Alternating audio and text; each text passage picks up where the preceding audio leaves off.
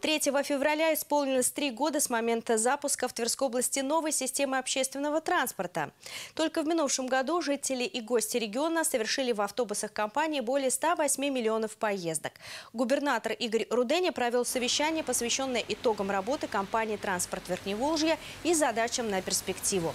Глава региона подчеркнул, что с учетом пожеланий граждан необходимо продолжить совершенствование системы. К примеру, регулировать расписание в праздничные дни, когда требуется продлить период работы. Напомним, что в настоящее время новая модель пассажирских перевозок действует в семи муниципалитетах, где проживает более половины жителей региона. Это Тверь, Калининский район, Ржевская, Кимская, Конаковская, Старицкая и Зубцовская агломерация. Начиная с 2020 года общее число пассажиров составило более 250 миллионов.